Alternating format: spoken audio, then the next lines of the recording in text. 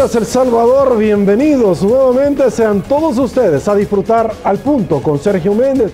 Esta mañana, el doctor Enrique Anaya Barraza, destacado jurista y especialista en Derecho Constitucional, estará con nosotros. Entre otros cargos, podríamos mencionar catedrático, etcétera. Y una de otra forma ha sido eh, potencializado porque ha sido recurrente en interponer no solamente ciertos recursos, sino también en entrevistas dejar muy claro sobre ciertos controles que se han establecido en algunas resoluciones de la Sala de lo Constitucional. De hecho, interpuso ante esta ya electa un recurso en contra de uno de los magistrados, el magistrado Calderón. De eso vamos a hablar en segundos. Y de otros tópicos más. Antes, señores, aguante, me quiero saludar a Mr. Donut porque mañana tras mañana hace posible el primer segmento de la entrevista al punto con Sergio Méndez. Dale a tu paladar un gusto dulce en Mr. Donut. Donas de moca. Donas de fresa. Donas de chocolate. Solo en Mr. Donut. La gran variedad. Presenta. Y bueno, señores, con el mayor de los placeres le damos la bienvenida al doctor Enrique Anaya Barraza. Doctor, muy buenos días. Muy buenos gracias días, por acompañarnos en esta su casa. Muchas, muchas gracias por la invitación. Siempre es un gusto compartir eh, una charla contigo, Sergio. Gracias, doctor. Cuatro meses sin sala de lo constitucional y un miembro de la sala de lo civil. Para mí son ocho, porque antes de salir cuatro meses antes, eh, la sala ya tenían toda la documentación para empezarle a dar eh, forma a quienes iban a ser los magistrados. Doctor Barraza, debo de preguntarle a quemarropa, ¿usted está satisfecho con esta sala, con esta elección? Lo voy a decir con una frase que va a sonar un poco contradictoria. Es una, y en relación a todo el proceso, es una frustración esperanzadora. ¿Por qué? Bien es cierto que entre los magistrados electos quedaron fuera eh, candidatos con mejor perfiles, ¿no? Definitivamente, con, candidatos, digamos, con mejor eh, currículum que, que algunos otros, ¿no? De los que quedaron electos. Pero al mismo tiempo, Sergio, creo que hay un punto importante. Siempre hay que ver, dicen, dónde estábamos y dónde estamos ahora. Para la elección, Sergio, que estaba supuestamente acordada el 15 de julio, el día de la final de la Copa Mundial de Fútbol, de los cuatro que han sido electos, el único que estaba ahí desde julio es el licenciado Carlos Sánchez. Habían tres personas ahí cuyos nombres voy a omitir porque ahí están en los periódicos, pero quedan los candidatos que con más apoyo contaban, que ahí fue donde fue la lucha ciudadana para decir, no, miren, tampoco nos pasemos, ¿no? Iban tres candidatos que realmente no cumplían con el perfil, ¿no? Y así que al menos hoy en día, de los cuatro magistrados de la sala de lo constitucional, hay dos personas de las cuales definitivamente no hay ninguna, ninguna duda, digamos, de su capacidad, de su Carlos independencia. Sánchez y el Aldo caballero Cader. Aldo Cader. Nos- Así es. nosotros los abogados Así- sabemos Sí, que no hay pero ninguna yo- duda. Pero conozco, digamos, la trayectoria de ellos. Yo he leído tanto decisiones de ellos, conozco el trabajo académico de Aldo, tal. De los otros dos magistrados, pues hay que pedir las resoluciones, Sergio. Yo creo que, como dice la Biblia, pues por sus frutos su- su- los conoceréis. Así que hay que esperar las resoluciones. Vamos a ver las resoluciones de los nuevos magistrados de la Sala de lo Constitucional, a ver eh, si tienen un soporte constitucional. Lo voy a decir en términos gráficos. Vamos a ver si esta nueva sala también tiene cemento constitucional, es decir, solidez, digamos, fuerza para poder actuar. Hay que empezar a ver las resoluciones, pero yo les pediría ver pronto. ¿eh? Eh, ¿Sabe que aquí hay una cuestión? Aquí siempre decimos que hay muchos casos, pero en realidad no son tantos, Sergio. O sea, eh, en este país la sala de lo constitucional recibe aproximadamente 1.100, 1.200 casos al año. Solo para comentarte que las, la Corte de Constitucionalidad de Guatemala recibe más de 5.000 casos al año. Bueno, pero las dimensiones geográficas también son Sí, diferentes. sí, no, no, son pero, pero te quiero comentar. Pero los procesos de amparo no se tardan en Guatemala más de dos años. O sea, te comes que recibes 5.000 y te tarda dos años, y aquí recibes 1.100 y Y te no, tardas, claro. puedes tardar, digamos, una eternidad. Así Si es que, no te han muerto, sí. Exactamente, entonces por lo tanto, Y ya allá, tienen, y allá con San Pedro le llegan a notificar. vea, te lo digo, mira, imagínate, ya tienen varios días en la sala, así que yo esperaría ver ya resoluciones, aunque sea resoluciones de admisión, resoluciones de trámite, pero eh, se tendría que tramitar, el trámite de los procesos constitucionales no es complejo, Sergio, o sea, eh, por supuesto, tomar las decisiones sí es complejo, pero la tramitología de los procesos para nada, ¿eh? así que yo esperaría ver con prontitud decisiones por parte de la, de la sala de lo constitucional, entre ellas, como, como ya que mencionaba, pues, que tomen una decisión sobre el magistrado que fue electo eh, también el mismo día que fueron electos ellos. Listo, ya voy a ingresar en ese tema. Solo quiero plantearte a ti algo que me llama muchísimo la atención. Bueno, de todos fue sabido, yo lo dije aquí, de la canallada que pretendían articular cuando todos los salvadoreños estábamos eh, viendo la final entre eh, Croacia y Francia y que se pasaron llevando a un camarógrafo salvadoreño, por cierto, ellos estaban eh, sumergidos en ese mundo oculto, en el inframundo, eh, siendo convocados para darnos a nosotros eh, el mañanero, podríamos decirlo, ¿verdad? Para sorprendernos a los salvadoreños. Ahora, hay personas que me han dicho a mí categóricamente, yo no entiendo por qué dejaron de fuera a gente por otras personas de altura. Y yo me voy a atrever a dar dos nombres porque los he conocido y no sé qué opinión te merece, pero también he visto eh, su trayectoria. Martín Rogel, mis respetos, una persona muy técnica de altura, pero que obviamente no se va a prestar con ningún partido ni con ningún payaso corrupto para hacerle la segunda. Y la licenciada Ivette Cardón, para mí, mi respeto, doctora, claro, mis respetos para ella, sin lugar a dudas, y otras personas más que en algún momento trataron de descalificar. ese, es precisamente el problema. Uno no sabe por qué, eh, qué se negoció o qué se discutió, ¿no? Porque al final la decisión fue totalmente oculta, ¿no?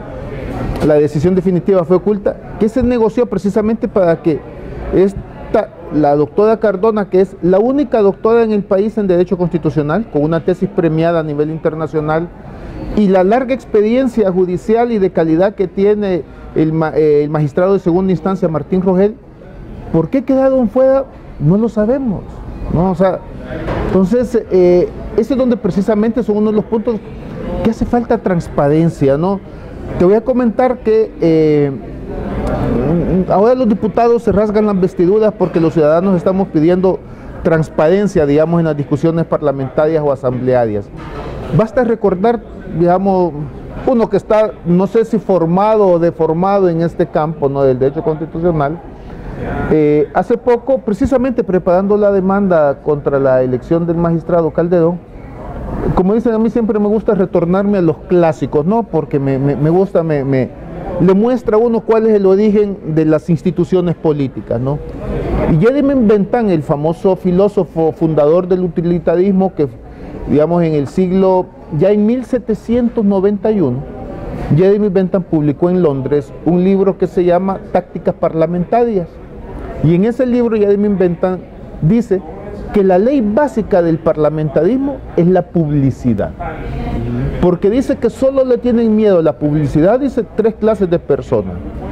Uno, los malhechores, porque quieren ocultar, dice, sus actos criminales. Dos, el dictador, porque no quiere escuchar la voz del pueblo. Y tres, los indolentes, porque la única forma de ocultar su incapacidad es acusando la incapacidad de los otros. ¿Pero eso es en El Salvador o fue no, en No, no, no, fue en Inglaterra. Pero vamos a ver, pero te lo digo, fue en 1791. ¿Te imaginas usted? ya habían delincuentes en aquel entonces en la política. ya habían parlamentarios ah, también. Cualquier parecido es coincidencia. ¿Te imaginas algo que inclusive ya en la Europa en los años 60 se decía, mire, es que ni siquiera es necesario poner en las constituciones el principio de la publicidad de los debates Porque se sobreentiende. Se sobreentiende que es ah, parte del funcionamiento. si no está eso y es parte del funcionamiento. una interpretación auténtica. Es parte indispensable del funcionamiento, dicen, de un sistema de asamblea legislativa, un sistema de parlamento, de congreso, ¿no? Entonces, yo sé ¿Sabes?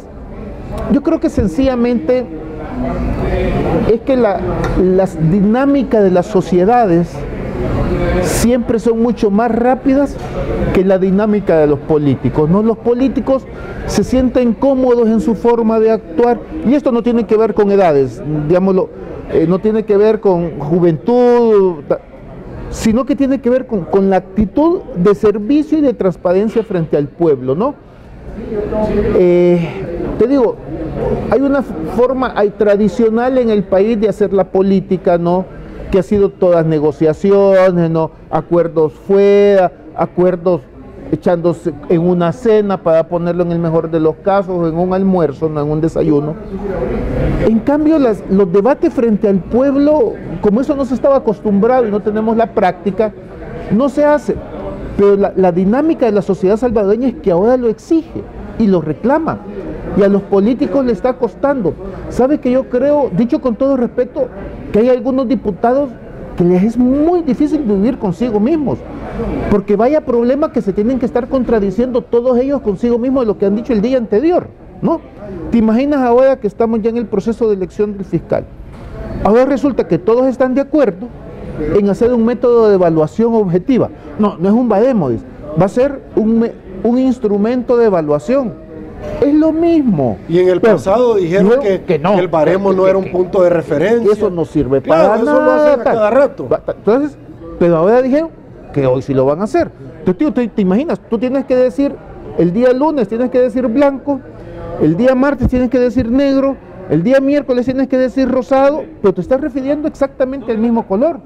Pucha, esto es vivir así, de que te tienes que estar contradiciendo todos los días, ¿no? que todo el mundo se esté riendo de vos porque sos un payaso, que porque sos un delincuente, tiene, Tiene que ser difícil, o sea, y por ejemplo, yo califiqué por ratos el proceso de, y con todo respeto, pues, pues el proceso de elección por rato fue un espectáculo vergonzoso, ¿no? O sea, ¿te imaginas cuando dicen, vamos a mandar a llamar a los judistas destacados que nos digan si podemos trasladar magistrados? Impresentables. O sea, para que después les digan, no.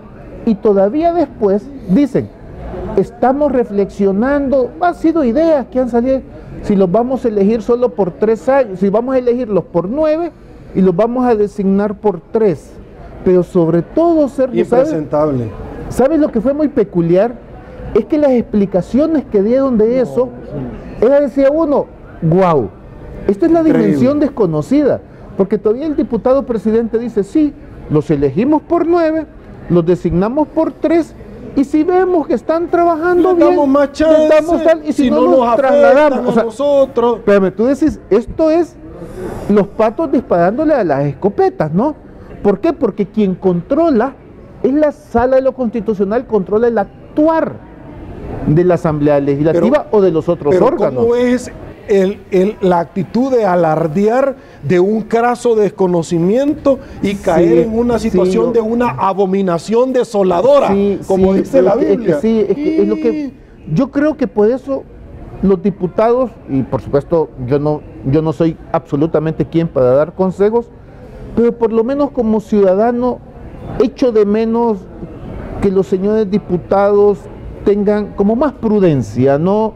Que antes de dar una opinión así, digamos, informal, una opinión, digamos, de, charla de, bar, ¿no tal? Sí. Eh, que mejor sea que, que piensen lo que quieran, que consulten con sus asesores, tienen algunos asesores muy buenos y todo, y que después digan, porque tirar esas cosas al aire y la opinión pública creo que desgasta. Pero ¿sabe Sergio? El problema es que no únicamente desgasta, digamos, a las personas, a los diputados, desgasta también la institución. En el último latimbarómetro publicado hace pocos días, ¿sabes que la confianza de la población salvadoreña en la Asamblea Legislativa es la segunda más baja de toda América Latina. Solamente el 6% de la población confía en la Asamblea Legislativa. Entonces es un problema cuando la población no confía en las instituciones que nos representan democráticamente. No cuando la conducta, cuando las acciones u omisiones de los diputados no reflejan, no tienen la prudencia de actuar, entonces eso significa un desgaste, ¿no? Por ejemplo, vamos a ver, al final la votación, algunos diputados, asumo yo que digamos, para evitar, en, la fracción de ADENA, asumió que para evitar el conflicto, Pero respecto de algunos candidatos que, que fueron electos, pero que obtuvieron 72 votos, como sabes, pues algunos diputados, cuando se nombró ese candidato, se retiraron de la votación y precisamente decía ausente, ¿no? Y otros diputados sencillamente pues se abstuvieron, ¿no? Para votar por algunos candidatos, ¿no? Me parece esa, francamente, quizás una conducta, la política me imagino que es muy complicada, ¿no? Para no padecer que estás siendo, digamos, eh, que estás peleándote, digamos, con el equipo, ¿no? Entonces mejor te retiras un poquitito para evitar el conflicto, ¿no? Pero me parece una buena conducta en el sentido que hay que ser prudentes. Entonces, en todo este proceso, desde que comenzó, me recuerdo que un diputado dijo, no, dijo, si algunos de los que hemos sacado en la lista son puros señuelos. Ah, vaya, digo. O sea, qué terrible, o sea, terrible. carnada. carnada, no señuelo, ¿no? O sea, trampa. Carne de cañón. Va, sí, va, trampa. Ah, vaya. O cuando los diputados, hoy sí lo podemos decir más tranquilamente, va, cuando los diputados defendían con ahínco y todos los partidos políticos defendían con ahínco la candidatura del licenciado Carlos Pineda, el, que, el, jefe de Providad, y decían, no, ¿y cuál es el conflicto de interés? Todos, todos mirábamos el conflicto de interés, pero tal. Así que eh, yo creo que este proceso nos deja lecciones, nos deja varias lecciones. Uno, la importancia que la ciudadanía esté vigilante. Yo creo que eso es para mí. Y que los medios de comunicación hagan su trabajo. Claro, claro. E, e, e, eso también es importante. Pero mira, la presencia de la ciudadanía, la presión de la ciudadanía, creo que el mensaje es que los diputados ya no. Si bien es cierto, voy a decirlo, creo que estamos en los estertores de esta vieja política. Los políticos se van a tener que ir adaptando, digamos, a las nuevas exigencias, ¿no? De la ciudadanía. Entonces, creo que saben que ya no van a poder seguir haciendo lo que hacían antes, a tal grado que hoy con la elección del fiscal ya dicen, ah vaya, pues vamos a tener un instrumento de evaluación. Por más que despotricaron contra él, y sabe que lo más peculiar, porque es la contradicción es permanente, todos despotricaron contra los Bademos, pero todos decían que lo habían hecho. O sea, espérame, dices que no, que estás en contra de eso, pero todos decían que habían hecho sus propios Bademos, ¿no? pero que no los iban a dar a conocer. Pero todos dijeron que los habían hecho. Y ahora resulta que todos están en el esfuerzo de ponerse de acuerdo para hacer uno solo. Entonces yo creo que la primera lección es la importancia de la participación activa de la ciudadanía. Segunda, buena lección, es que ahora vamos a estar más vigilantes todos los ciudadanos sobre las resoluciones que emita tanto la sala de lo constitucional como que emita la Corte Plena. Y ya tiene retos encima, tiene retos encima. Corte Plena, Vamos a ver las decisiones que toma sobre los casos de probidad. Vamos a ver la sala de lo constitucional que decide sobre los vetos presidenciales, sobre la elección del magistrado Calderón. O sea, ya hay temas, digamos, que están... Y los casos que quedaron pendientes. El impuesto a la ley de telecomunicaciones, mal llamado impuesto de seguridad del 5% que todos pagamos. el CITRANS, etcétera, todos hay casos, pendientes, ¿no tal? Y la tercera elección, Sergio, digamos, de este proceso que es importante, que es la ventaja del, voto por rostro para las legislativas, que yo creo que ahora ha quedado todavía mucho más en evidencia, ser aquellas personas, aquellos diputados por los cuales creo que ahora con nombre y apellido en el 2021 creo que se le va a poder decir a la población, ¿te acuerdas cómo se comportaba ese señor? no votes por él. Yo tengo un par que obviamente le voy a recordar a la gente. Ahora, doctor, eh, yendo a ese eh, ejemplo que tú estás poniendo, ¿y qué podríamos esperar de una gran cantidad de diputados que para muchos son delincuentes y otros dicen no porque faltarle respeto a delincuentes, ¿verdad? Pero eh, hay diputados que son honorables y todo. ¿Qué podríamos esperar cuando por ese voto por rostro se fueron a la Corte Centroamericana? Tú recordarás quiénes, aquellos partidos políticos como el PCN, Gana, tú te recordás que hasta llevaron un buen número de, miembros del periodismo de este país, pero a la vuelta de los, de los, meses, ellos mismos estaban pidiendo para su candidato Tony Saca, que lo llevaban en unidad, el voto por rostro. Es decir, ¿Cómo se come eso cuando la canallada es insuficiente para describir Mira, lo yo- que ellos yo- hacen? Yo, lo voy a llamar tú Qué son- belleza, El mira, Salvador. yo- sabes que yo más que los calificativos, yo creo que lo importante es que ya esas prácticas políticas, Sergio, creo que eh, ya se va viendo que la población no se las traga, Sergio. O sea, entonces creo que la población va adquiriendo mayor conciencia, ¿no? Y te digo, ahora sí ya se va a poder decir, digamos, es, mira cuál fue la conducta que tuvo este diputado. Por ejemplo, hubo al menos tres diputados, dos o tres diputados que en este proceso insultaban a la población. El intelecto de la población. No, no solamente el intelecto, eran insultos. Decían sandeces contra la población. Podemos diputado- conocer los nombres. Sí, el diputado Medino dijo que quienes criticaban a la población, dijo, eran unos señores... Francisco dijo, Merino. Francisco Medino. Pero él está siendo procesado por enriquecimiento ilícito. Bueno, no creo que no está siendo investigado. no está Investigado, pues, es decir, está en un proceso de investigación, Está, en investigación, está en un proceso de investigación. Pero, ¿sabes? Pero él dijo que, que las personas, dijo, estos señores, dijo, eh, prostácticos, dijo, ancianos, dijo que no sé qué, dijo que enfermos, dijo que están criticando. Tú no, o sea, vamos a ver, en una democracia consolidada, avanzada, al día siguiente esa persona deja de ser diputado. No puede salir insultando a tus representados. Ojo, ojo que un amigo televidente me acaba de escribir y me dice, y lo mejor es no llevarle la contraria si no saca la pistola y te tira un balazo. Bueno, imagínate. no sé por qué me lo habrá dicho, pero bueno. Va, pero o sea, se- diputados que insultaban, o lo que dijo el diputado Guillermo Gallego, no nos presionen.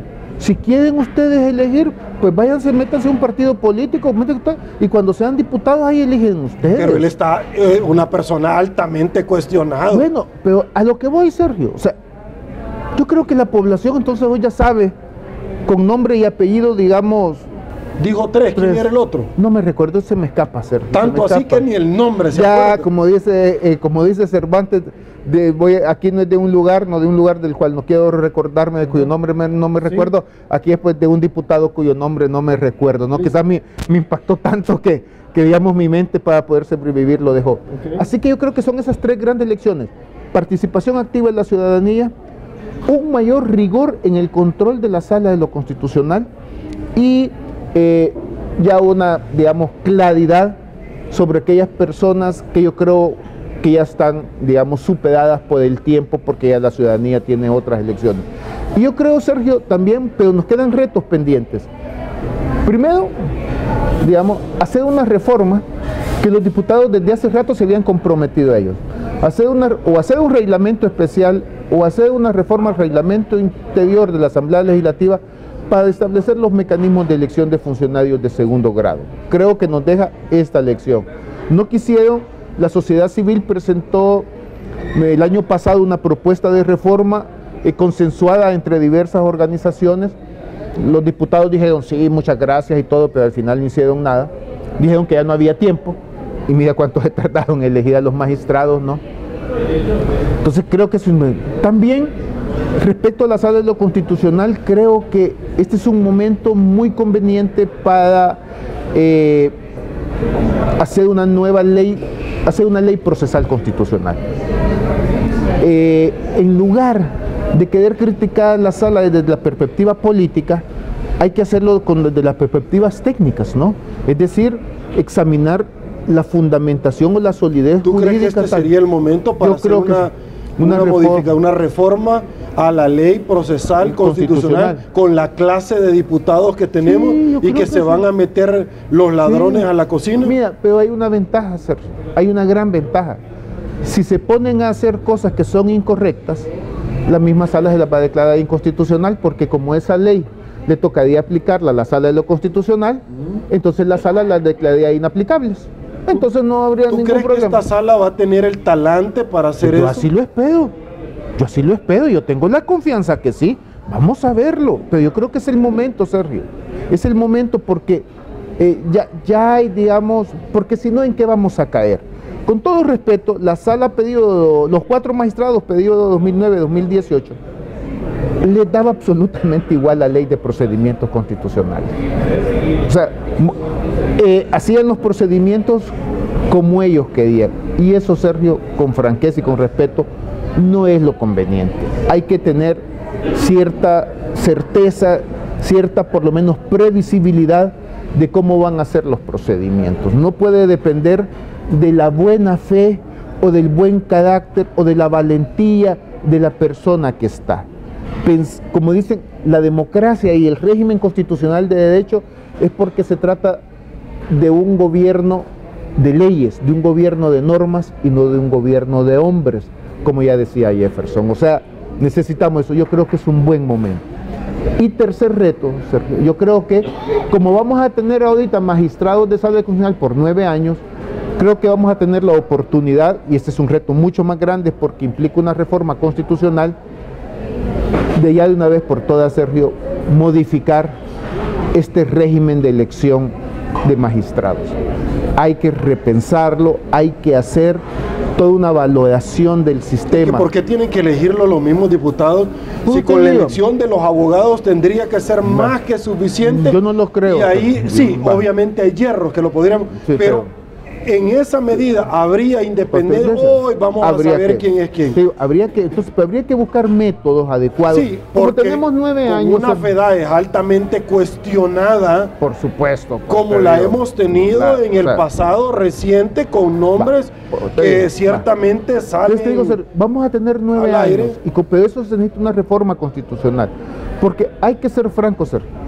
El actual método de elección de magistrados fue el resultado de las negociaciones de los de acuerdos de paz. Después de los acuerdos. Y con todas las bondades que puede tener en abstracto, es un método totalmente agotado.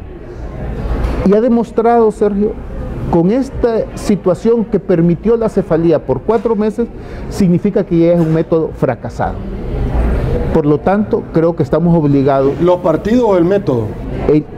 Tanto el método como los actores. ¿Se anima a decir los dos? Los dos, yo estoy convencido. No han hecho la plana. Definitivamente. O sea, vamos a ver. En principio, vamos, los procedimientos no son neutros. Los procedimientos siempre tienen, digamos, algún perfil o algún sesgo. Pero aún así, cuando hay buena voluntad, aunque tengas una herramienta inadecuada o eh, vetusta, eh, ya superada por el tiempo, si tienes la voluntad, eh, lo haces bien y veamos pues cómo es, con una ley del 1950 y pico se iniciaron los primeros casos de probidad. Una ley que durante casi 50 años nunca se había aplicado, prácticamente no se había aplicado, se comenzaron ¿no? en el 2016 los primeros casos de, de probidad. Entonces con una herramienta vieja, pero con la voluntad política y la solidez académica o jurídica, puedes hacer uso. Pero si tienes el problema que se te combina una mala herramienta con ausencia de voluntad política y constitucional, entonces estamos en el peor de los mundos, ¿no? Entonces hay que tener buenos mecanismos. Ok, aguánteme un ratito, voy a ir a una pausa al regresar. Vamos a abordar em, las razones, eh, tanto eh, que se lo han llevado al doctor Enrique Anaya Barraza a meditar y por supuesto a interponer el recurso correspondiente en contra de la elección de un magistrado. Antes déjenme recomendarles, señores, que sea parte de la tradición, de la historia, de un acto repetitivo donde usted puede ser portador de uno de tantos souvenirs, por supuesto, recuerdos de uno de nuestros patrocinadores, Mr. Donald, como lo es los nuevos vasos térmicos únicamente por $4.99. Usted puede llevarse y por supuesto hacer toda la colección de los vasos térmicos de Mr. Donald. Pausa, volvemos. Dale a tu paladar un gusto dulce en Mr. Donut. Donas de moca. Donas de fresa. Donas de chocolate. Solo en Mr. Donut. La gran variedad. Presentó.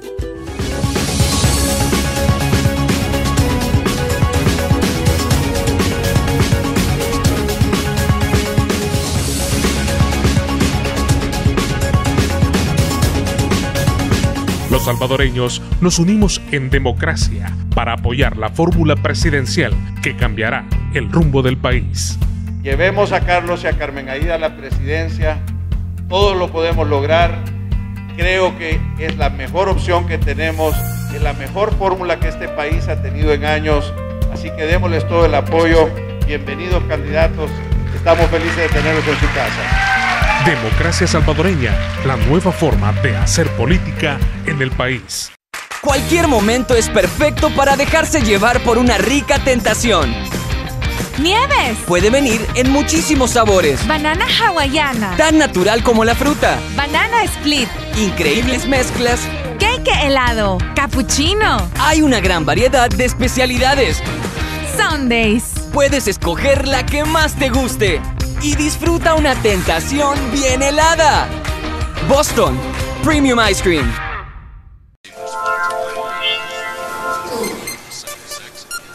Presidente de la República ordena a los diputados que se... Protestas en el centro capitalino causan Sospechas de corrupción implican a alto funcionario de San Salvador. Llegó el periódico digital que no se calla, diario1.com. Este segmento es gracias a Democracia Salvadoreña, una nueva forma de hacer política en El Salvador.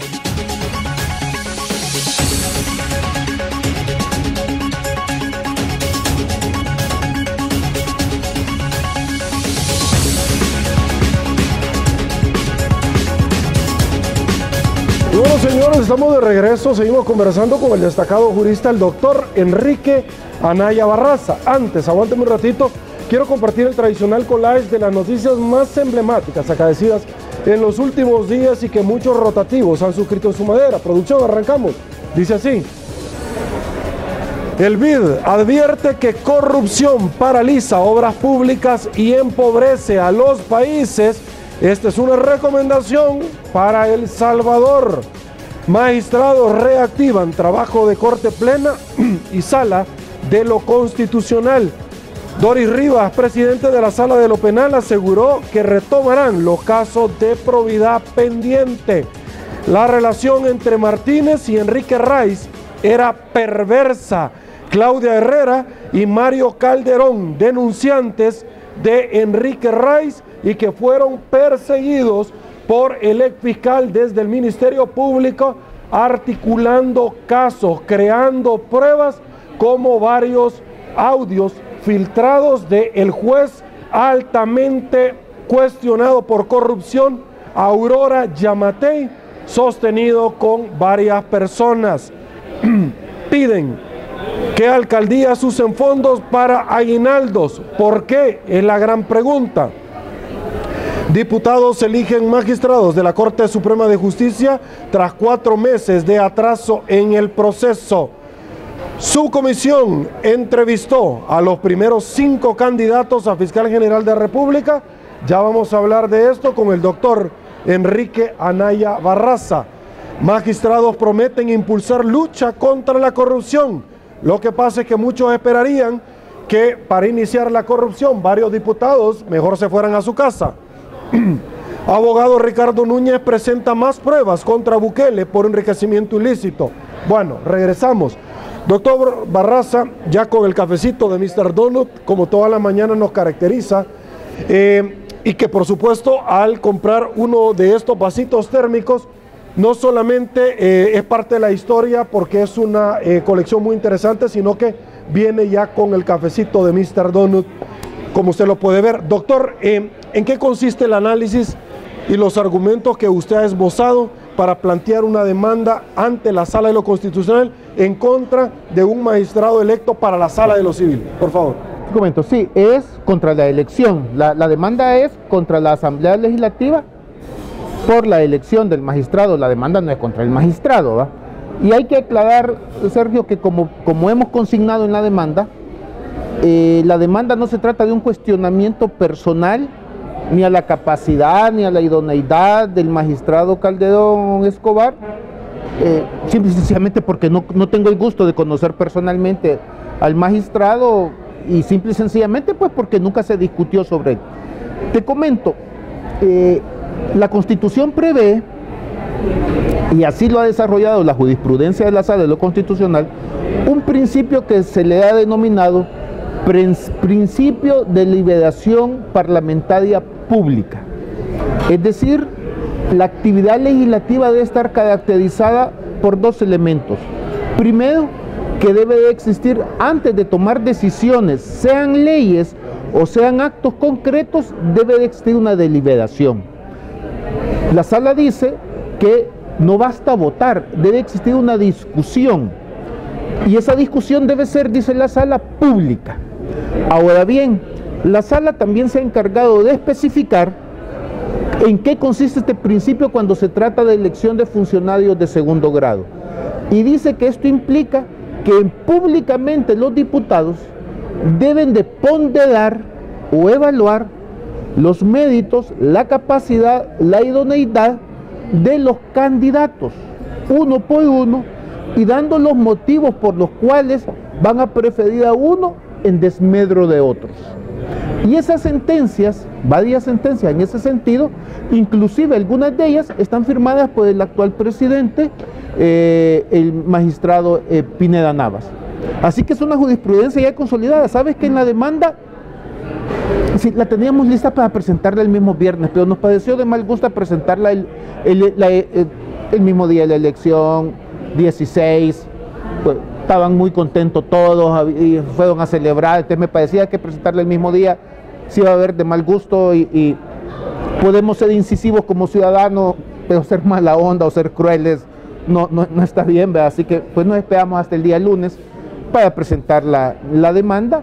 Así que la jurisprudencia es contundente. Te digo, la demanda, el fundamento de la demanda es 100% mención de jurisprudencia de la sala de lo constitucional. Jurisprudencia, precedentes de la misma sala. Así que, pues, yo esperaría que siendo una demanda que está basada exclusivamente en jurisprudencia de la misma sala, salvo que la actual composición personal de la sala quiera iniciar sus pasos modificando la jurisprudencia de la anterior sala y diciendo que los diputados no deben deliberar, pues lo que tocaría es, en el corto plazo, por lo menos yo así lo veo, es una demanda muy sencilla, pues admitir la demanda, darle trámite, mandado ir a la asamblea por 10 días, después pedir la opinión del fiscal y después sentenciar. Y recordemos, Sergio, que ya hay antecedentes, ¿no? Eh, recordemos que la Sala de lo Constitucional declaró inconstitucional la elección del ex magistrado Salomón Padilla por pertenencia a un partido político. O sea, inclusive un magistrado de la misma Sala de lo Constitucional declaró la inconstitucionalidad de la elección del magistrado suplente Ricardo Iglesias también por pertenencia a un partido político. En este caso, de ninguna forma se le está atribuyendo al, magistrado Calderón la pertenencia a un partido político, sino que un tema de forma, ¿no? Deficiencias, déficit en eh, la, forma del procedimiento legislativo, ¿no? Entonces, y te digo, y esto no afectaría, imaginémonos que la sala tramita el proceso y termina declarando la inconstitucionalidad del nombramiento, no afecta en nada la institucionalidad. El magistrado Calderón tiene ya su propio suplente, que es el magistrado de segunda instancia, Alex Marroquín. O sea, no afecta en nada no el funcionamiento de la institución. Esta demanda no va a motivar, digamos, a ni nada por el estilo. Así que esa es, esa, Sergio, la, la, demanda. Sí, que quede claro que es contra el proceso de la elección. Por ejemplo, yo a título personal conozco a Roberto Carlos Calderón y ha sido un juez de verdad con mucho altura y talante fuimos compañeros desde la Fiscalía y bueno, varios cargos como por ejemplo el tema de las extradiciones, él, fue nombrado en su momento por la Corte y adicionalmente, entre otros cargos, termina eh, como juez eh, primero de vigilancia penitenciaria y ejecución de la pena. No es contra él y que quede bien claro porque él me merece todos mis respetos, sino que es contra el mismo procedimiento, el, cual usted ha establecido, claro, y por eso nosotros lo invitamos. Ok, eh, voy a un poco más. ¿Qué se espera de esta sala y le explico por qué, doctor. Yo de pronto no entendí por qué en estos cuatro meses vinieron los magistrados que estaban eh, y dijeron, mire, hemos decidido no seguir conociendo sobre los casos de probidad. ¿Por qué, doctor? ¿A cuenta de qué? no, es que queremos legitimación. La legitimación no se le da desde ningún punto de vista el que esté en los 15. Cuando tú tenés un número, haces quórum y en base a un derecho aplicable y en base a los conocimientos y la prueba que tú tenés, o sea, ¿qué les inhibía para darle seguimiento?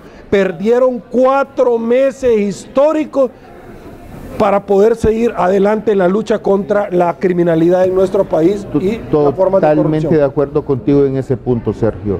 El Pleno de la Corte creo que cometió, desde la perspectiva, digamos, tanto jurídica y desde una perspectiva de ciudadanía, de, de lucha, creo que en primer lugar no tenía ninguna base jurídica para decir las dos cosas que hizo, que hizo, que dijo y que hizo. Uno, decir vamos a dejar en suspenso los casos de probidad hasta que esté integrada totalmente. No hay ninguna base, no, existía ninguna base jurídica, ni política, ni ciudadana para ello. Si ya la ley orgánica judicial señala que hay quórum de, corte con la mitad más uno y hay quórum de decisión con la mitad más uno y habían 10 magistrados propietarios y un suplente, habían 11 magistrados ejerciendo funciones así como estaba legítimo que emitieran decisiones en temas administrativos, pues también era totalmente legítimo que conocieran de los casos de probidad. Así que ese suspender el conocimiento de los casos carece totalmente de cualquier base normativa y sobre todo me parece que es un mal, mal mensaje a la ciudadanía. Y dos, ¿sabes que Corte Plena emitió un decreto también suspendiendo es, un decreto bien oscuro porque dijo que aquellos casos, dijo, en que llegaran a corte plena, pero que no lograra tomarse decisión, decía, quedaban suspendidos los plazos por fuerza mayor porque no estaban electos los propietarios. Eso tampoco tiene ninguna base, Sergio. O sea, lo- eh, el, problema que no tom- tomaban decisión no era porque no estuvieran los cinco, los once que estaban podían tomar una decisión. Así que, lastimosamente, Si el tema no es que iban a absolver a la gente y que no les cayera la carga a todos ya con compadre hablado, ¿cuál era el problema de hacerlo? No porque estamos los 15 y todos por unanimidad establecimos que en efecto aquí no había absolutamente nada que investigar en contra de fulanito menganito. ¿Por qué? Porque hay varios casos ahorita en Provida que se están eh, que se elevaron a- al pleno. Uno de ellos es el de Francisco Merino, otro el de Guillermo Gallegos, que muchos nos preguntamos si ellos están siendo investigados, ¿por qué estaban en la comisión para elegir a quienes los van a investigar? Contame cómo se come eso. Sí, no, en cualquier sociedad con medianía de conocimiento, de ética, de altura, El conflicto de intereses es sencillamente evidente. se hubieran apartado, Claro, el conflicto- como el jefe de. Providad jamás se hubiera metido en ese tema. El conflicto de intereses es evidente, pero mira, yo creo, y te digo para continuar con lo de la Corte, pues en este tema, ¿no? Precisamente yo creo que, y esperamos que no sea así, eh, se dijo, pues a mí no me consta, Sergio, pero se circuló mucho, pues, que parte de la pa- paralización de la toma de decisión sobre elegir magistrados era el interés de algunos diputados investigados por incidir, digamos, en la correlación de fuerzas en corte plena. Entonces, ¿cuál era el mecanismo más fácil para evitar ese incentivo perverso? Que Corte Plena tendría que haber tomado, para bien o para mal, y asumir las consecuencias. De acuerdo. La decisión, porque entonces se- se hubiera eliminado ese incentivo perverso de decir, quiero llevar a alguien que me dé, digamos, una correlación, digamos, de fuerza que me sea conveniente al interior del Pleno. Si los 11 magistrados hubieran tomado la decisión, la que fuera, Sergio, la que fuera, la decisión que fuera, pues bueno, ese incentivo perverso que tenían, se- que se dice que tenían algunos diputados, a mí no consta, pues, pero fue un rumor muy fuerte, pues hubiera desaparecido. Y, es que yo insisto, y por eso es, Sergio, que en la política eh, no basta ser la mujer del César. Yo no puedo imputarle nada a ningún No diputado. basta ser la mujer del pueblo. no basta, no, no basta ser la Ah, mujer del César, como no, como decían los romanos. se- no basta ser como a cortesana no, y no, no no, no, no, para nada, para nada. No, ya, ya lo decía Roma, no basta ser la mujer del César, hay que padecer la mujer del César. Entonces no basta ser honesto, hay que padecer honesto.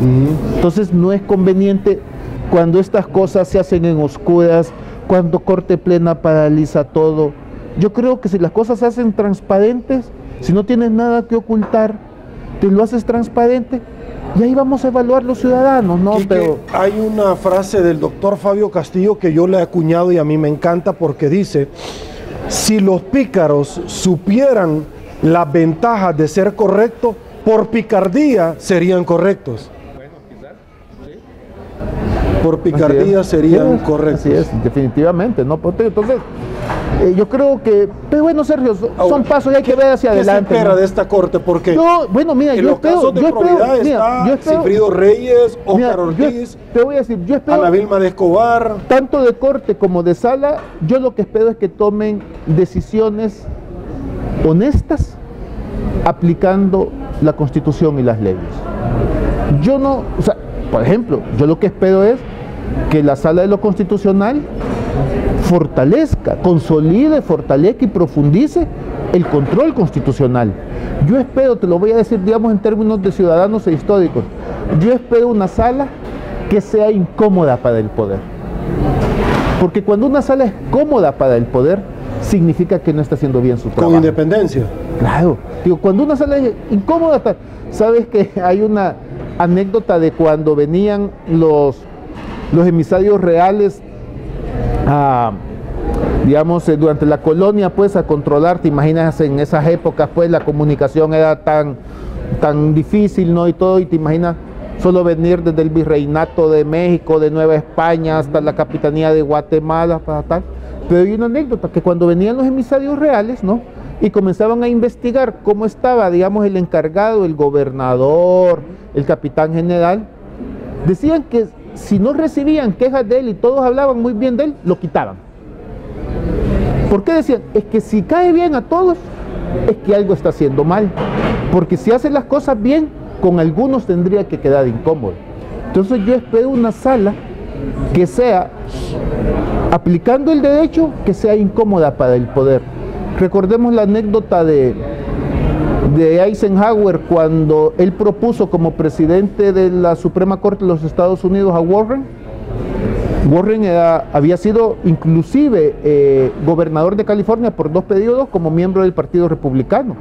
Nixon lo propone como presidente de la Suprema Corte, llega a la Suprema Corte, pero resultó que Warren ya en la Suprema Corte se un hombre muy liberal, muy progresista. Y cuando le preguntaron a Nixon, ya cuando había terminado, perdón, cuando le preguntaron, no, perdón, a Nixon, no, a Eisenhower, cuando le preguntaron a Eisenhower cuál había sido su mayor error en la presidencia, dijo Warren. Y su segundo mayor error, dijo Warren. Y su tercer mayor error, Warren. Eso quiero oír yo después, digamos, de los... ¿Sabes? Cuando los diputados de la actual sala, ¿sabes? Cuando los diputados ahora se quejaban, no queremos una sala como la del 2009, de- del 18. ¿Qué significa eso? Que cuando una sala es incómoda al poder es porque ha hecho su trabajo. Cuando una sala termina siendo indolente con el poder, los políticos están contentos. Entonces yo espero, dicho en una frase te digo, yo espero una sala que sobre la base de la aplicación de la constitución y la ley sea incómoda Ahora, para los yo, poderosos. doctor Barraza, no he visto nunca que a un político le desespere más, lo ponga ansioso, que no tener el control de otros funcionarios. Por supuesto, por supuesto. Pero te digo, pero vamos a ver. La ventaja es que una vez que se elija, los diputados, los magistrados son totalmente independientes. Ya, o sea, ¿recuerdas qué es lo que qué es lo que le incomodó a los diputados de, la- de los magistrados del periodo 2009-2018? Que se portaron independientes, independientemente, disculpe la cacafonía, de que las decisiones fueron correctas o incorrectas, porque ese es, eso es otra valoración, ¿no? Porque todos sabemos que lamentablemente esto siempre ha sido un reparto de cuotas políticas y todos sabemos pues que por parte de ADN en el 2009 la elección del magistrado eh, Jaime y González fueron a propuestas de ADENA y que la elección del magistrado Blanco y el magistrado Florentín Meléndez fueron a propuestas del FMLN. Y eso no es malo. Lo que les incomodó a los políticos fue que ya ellos cuando ya estaban en el puesto se portaron independientes, que es lo que hay que exigirle a los, a los magistrados, ¿no? Entonces los diputados se molestan por lo o los políticos se molestan por lo que es sustancial a la calidad de magistrado. Te voy a poner un caso muy reciente que se acaba en España. En España también, pues recordemos que España es una democracia joven, España, tiene apenas, va, va a celebrar en diciembre 40 años de la Constitución, o sea, no, no, es Estados Unidos de 250 años, no es Inglaterra con 400 años, no. Pero precisamente ha habido una queja constante de que los políticos, que hay una intervención, una injerencia política en la administración de justicia. Y hace poco los partidos políticos se habían puesto de acuerdo para elegir a un magistrado del Tribunal Supremo como presidente del Tribunal Supremo y en España es al mismo tiempo presidente del Consejo General de la Magistratura, que es el equivalente aquí al Consejo Nacional de la Judicatura. Cuando se hizo público que había sido por un reparto de los partidos políticos que dijeron, dijo el PP, a mí se, eligen 20, y dijeron, dijeron, el PSOE dijo, vaya, yo me voy a quedar con 11 y tú PP te vas a quedar con 9, pero tú vas a llevar la presidencia. El reparto político fue evidente. ¿Sabe qué es lo que hizo dos días después el magistrado Manuel Marchena? Presentó su carta de renuncia a su candidatura a presidente del Tribunal Supremo diciendo, mi conducta como juez siempre ha sido de demostrada independencia y yo nunca voy a estar sujeto a que mis nombramientos dependan de un reparto político. Eso fue lo que hizo el magistrado Marchena. ¿Te ves cómo, cómo las sociedades van evolucionando, no? Y cada vez se va a ir exigiendo. Yo creo que va a ser... Leonardo Bonilla, diputado no partidario, ha dicho eso fue un reparto de cuotas. Y, es evidente que lo fue. Ahora, doctor, acompáñeme porque eh, yo quisiera que usted ampliara sobre una nota periodística, un editorial que el veredicto final, para que vea que yo lo llevo a usted bien Muchas gracias. Pues si es que iniciaba así como ya tenemos sala de lo constitucional, felicitaciones a los magistrados electos y sobre todo plácemes a la sociedad civil. Y es que después del tortuoso proceso, por rato vergonzoso espe espectáculo que mantuvieron, que supuso por parte de la Asamblea Legislativa un retraso de más de cuatro meses en elegir a magistrados, un análisis minucioso del proceso de elección de magistrados de la Corte Suprema de Justicia entre el 2018 impone felicitar a la sociedad civil. Y usted decía, no a los diputados, ¿no? ¿Por qué? Primero porque no hacían su trabajo. Segundo porque lo han hecho a distiempo. Usted le pone cuatro, yo le pongo cuatro más porque fueron ocho. Yo ya se lo expliqué. Por ello es que la lucha ciudadana eh, no, eh, no se acabuche, sino que ahora debe de asumir otras tareas. ¿Cuáles son las otras tareas? Eh, ¿Por qué viene el análisis esto? Y, y las felicitaciones a los señores diputados, pues no. Primero porque ellos solitos se autoexaltaron. Segundo, porque hicieron lo que es su obligación constitucional, que hasta el bono le van a dar ya navideño. No sé por qué, porque está quebrada las finanzas. Y tercero, porque no se lo merecen. Qué ingrato sos con nuestros representantes, se autodetermina usted. ¿Por qué? Claro, como, como lo digo, vamos a ver. Es que te decir dos cosas sobre la conducta de los diputados en este punto. Yo creo que se felicitaron, ¿no? Se felicitaron los diputados diciendo, y todavía inclusive un diputado decía, esto es una muestra de parlamentarismo de altura. Wow, dije, pero qué bajita la, altura de eso, porque, porque vaya, dije yo, vamos a ver. Ellos, ¿por qué no los felicito? Porque en primer lugar ya ellos solitos se, felicitaron, ¿no? O sea, tú solito te echas las palmas. Dos, tienen el comité de aplausos, ellos solos, ¿verdad? Dos, porque en realidad, pues es que elegir magistrados es su obligación constitucional. Entonces, ¿de dónde felicitar puede hacer lo que es tu trabajo, no? ¿Va?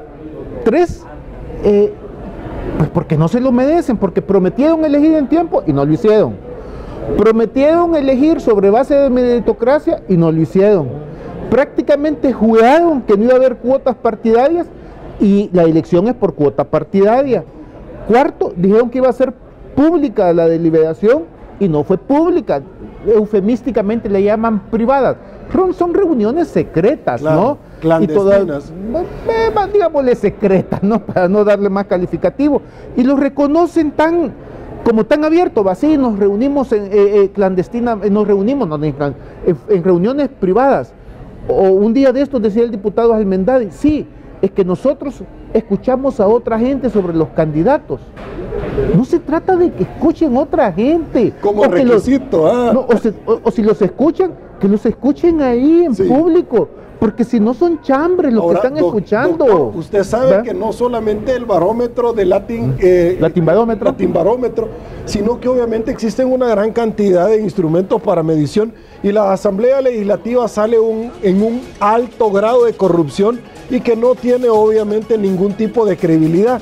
Pero la pregunta es, ya vamos a hablar de las pensiones, porque eso fue como la canallada esa más adelante y que todo el mundo se, se felicitaba. ¿Cómo se felicitan cuando no hicieron su trabajo y para muchos, no para mí, dicen que son buenos para nada los diputados? Aguanten un ratito, vamos a una pausa, volvemos. Este segmento fue presentado por Democracia Salvadoreña, la nueva forma de hacer política en el país.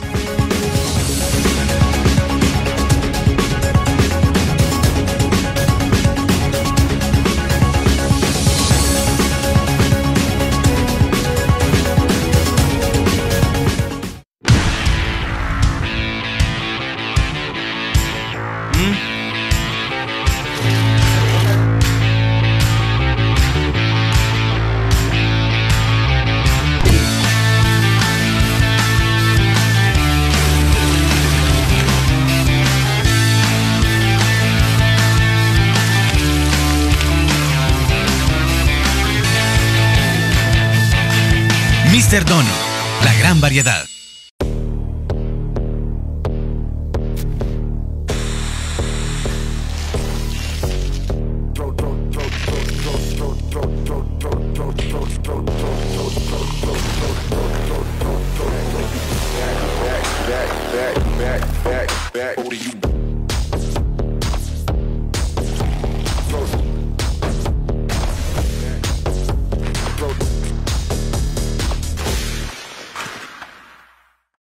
Salvadoreños nos unimos en democracia para apoyar la fórmula presidencial que cambiará el rumbo del país. Llevemos a Carlos y a Carmen Aida a la presidencia. Todos lo podemos lograr. Creo que es la mejor opción que tenemos, es la mejor fórmula que este país ha tenido en años. Así que démosles todo el apoyo. Bienvenidos candidatos. Estamos felices de tenerlos en su casa. Democracia Salvadoreña, la nueva forma de hacer política en el país.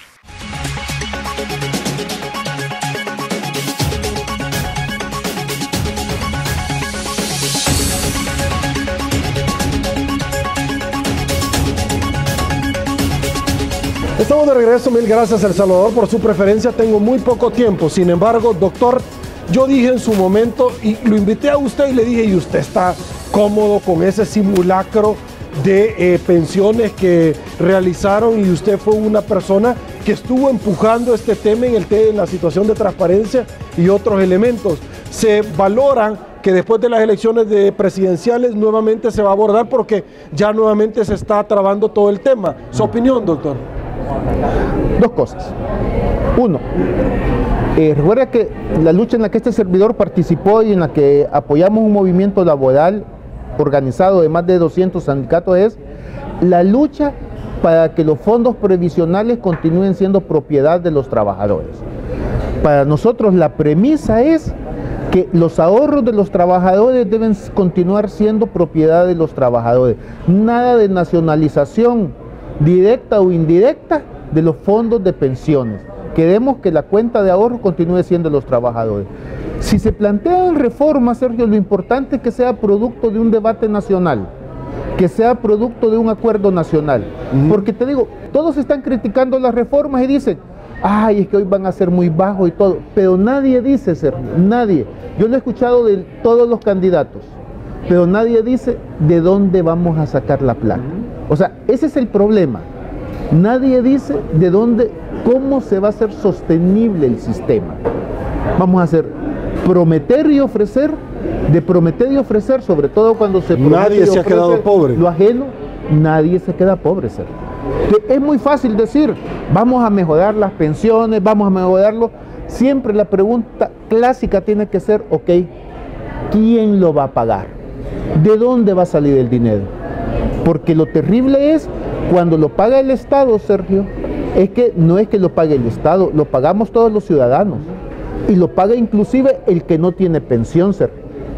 Recordemos que en este país solamente reciben pensión el 25% de la población, está en el sistema el 25% de la economía económicamente activa, pero todos pagan impuestos. Entonces hay que tener cuidado con una... Ok, debo de preguntarle rápidamente qué, qué, qué espera usted del proceso de elección del fiscal general. Pues yo lo que pedo los ¿Va a estar usted diputados- ahí presente también, Yo lo estoy siguiendo a través, digamos, de, de televisión legislativa definitivamente. Es decir, pues yo lo que pido a los diputados, ya que además de felicitarse, pidieron perdón, que además del perdón haya propósito de enmienda y que por lo tanto no repitan lo que hicieron mal con el proceso de elección de magistrados. Así que yo lo que les pido a los diputados es que no basta pedir perdón, hay que tener propósito de enmienda y hacer un buen proceso. Doctor Enrique Anaya Barraza, muchísimas gracias por Claro. habernos acompañado. Un gusto, ¿eh? Siempre aquí, agradezco. encantado, ¿eh? El Salvador, llegamos al final de esta su entrevista. Eh, así están las cosas hoy por hoy en nuestro país. Si le gustó la entrevista, comenten el resto del día hasta que el creador lo llame a su presencia. Así están las cosas hoy por hoy. Será hasta una nueva oportunidad y una vez más que el Señor nos bendiga a todos.